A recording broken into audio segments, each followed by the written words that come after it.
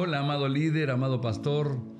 Hoy quiero hablarte de la llave que enciende o trae avivamiento a tu ministerio. Es la llave que necesitamos para que Dios le dé un impulso nuestro, una, una potencia nueva a nuestro ministerio, a cada uno de nuestros ministerios. Resulta que eh, cuando hablo de no seguir con el impulso, sino de ir bajo potencia. Es como cuando estás yendo en un auto y se apaga el motor o te quedaste sin combustible. El auto no se planta en ese lugar, sino que sigue avanzando por el impulso. Muchas veces, cuando el fuego de Dios dejó de empujar nuestra pasión, nuestra visión, nuestra locura por alcanzar las cosas, a veces seguimos por impulso, pero el impulso tarde o temprano termina deteniéndose aún sin que sea una frenada brusca, lentamente sentimos que estamos perdiendo la velocidad. Pero hoy quiero reeditar, rescatar, desempolvar un tema que seguro que lo enseñaste muchas veces, pero me gustaría que hoy seas buena tierra para recibirlo vos, aunque vos lo hayas hablado muchas veces. La llave que activa eso es una oración. Es una oración de búsqueda de Dios. El encuentro con Dios es una clave y me gustaría que los versículos que seleccioné para hablarte te enciendan. Insisto en que tu corazón sea buena tierra. Cuando uno se acerca, ¿por qué viene un avivamiento al ministerio o a la red o lo que estamos haciendo cuando nos acercamos a Dios? Muchas personas cuando se imaginan una oración, no la oración común sentado acá por la comida, por un enfermo, estoy hablando de la oración de búsqueda, la oración de encontrarte con Dios, de presentarte a Él. Esa es la oración que va a transformar y cambiar tu ministerio. ¿Y por qué te digo que es algo diferente?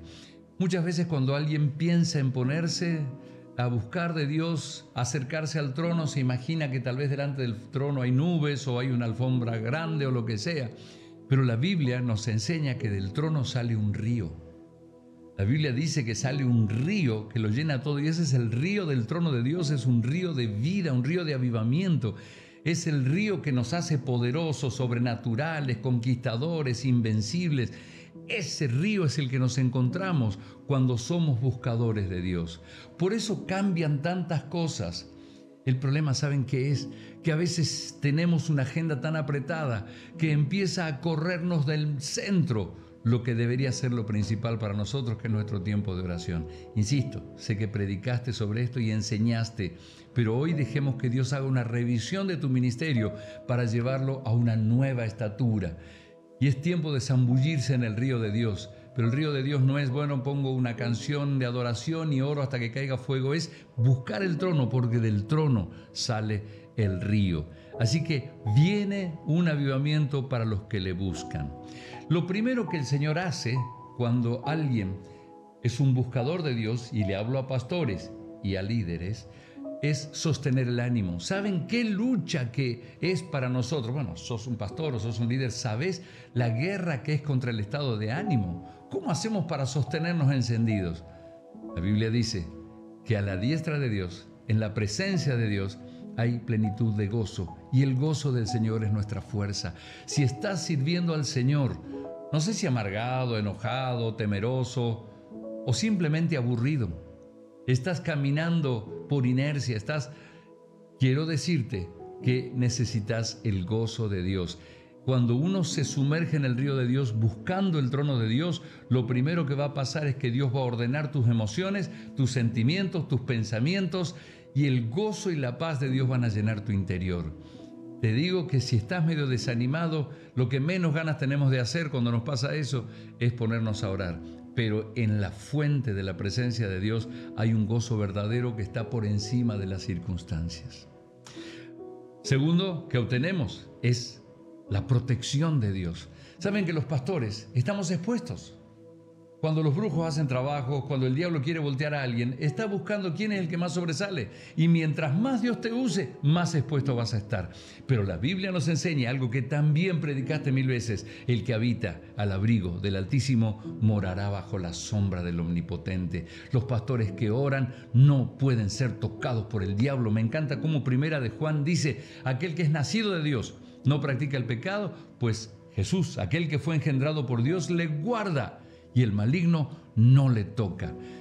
Cuando estás buscando a Dios, no solo vas a entrar en un río de avivamiento, sino que Dios te va a proveer de gozo profundo y abundante. Y segundo, una protección poderosa.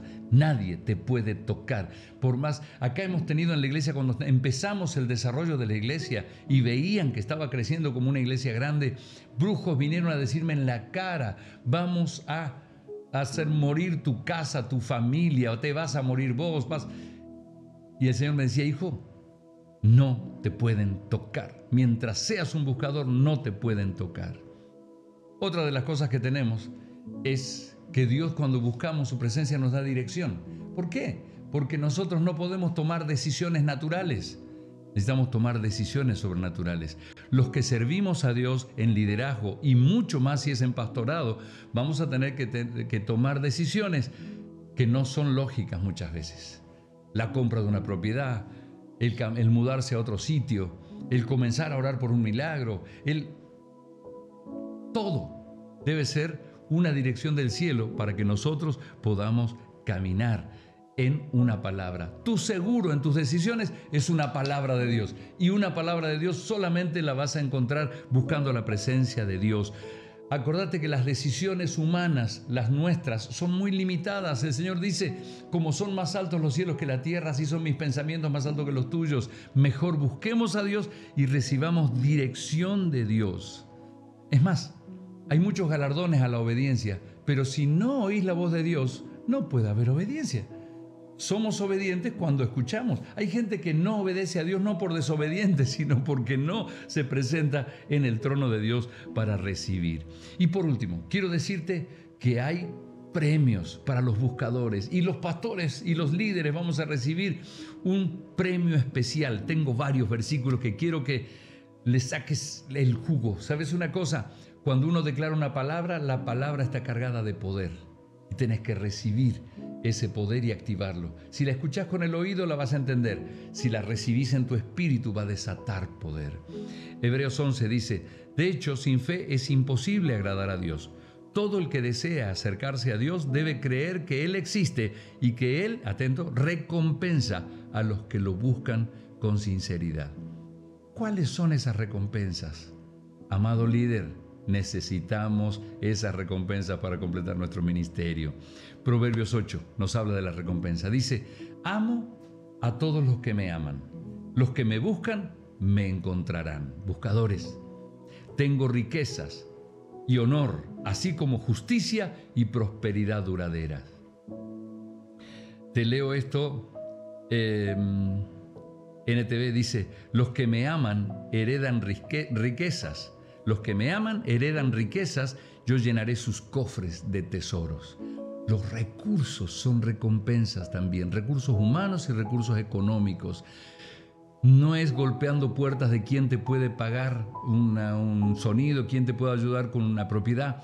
En tus rodillas está que Dios dice que va a recompensar. Los que me aman heredan riquezas y voy a llenar sus cofres de tesoros. Cuando estás de rodillas, uno de los, cuando sos un buscador, otro de las, otras de las recompensas es conocer los planes de Dios contigo. otro versículo que tal vez mil veces leíste, pero recibílo para vos. Sé muy bien lo que tengo planeado para ustedes, Jeremías 29.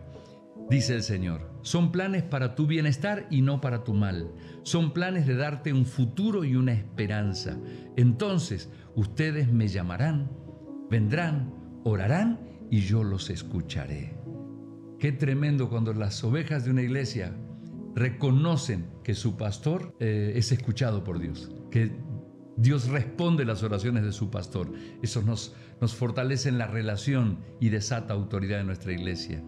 Dice, dejaré que ustedes me encuentren, dice el Señor, les devolveré lo que les quitaron. Atentos, siguen las recompensas a los que buscan a Dios, les devolveré los que lo que les quitaron y los traeré de regreso de todos los lugares a los, que los arrojé. Está hablando claramente de que cuando nos descarrilamos de Dios, caemos al desierto. El Señor dice, los traigo de vuelta a la tierra de la promesa, a la tierra de la abundancia.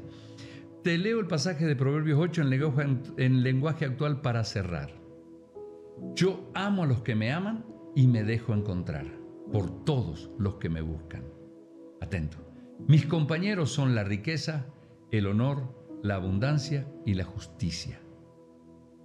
¡Wow! Eso encontramos cuando estamos en el trono de Dios. Mis compañeras son la riqueza, el honor, la abundancia y la justicia. Lo que tengo para ofrecer vale más que el oro y la plata. Siempre actúo con justicia y lleno de riquezas a todos los que me aman. Amado líder, amado pastor, todo es más simple cuando buscas a Dios. Todo es más sencillo cuando buscas a Dios. Te animo y oro para que Dios te dé una pasión y un hambre para buscarlo cada día más. No caer en la tentación de Marta, que quería servirlo en vez de escucharlo. Seamos los que buscan, porque Dios tiene una estatura nueva para tu ministerio, un llamado más grande y va a desatar un río de Dios como nunca antes viste en tu ministerio. Los mejores momentos de tu vida ministerial están llegando ahora. Que Dios te bendiga.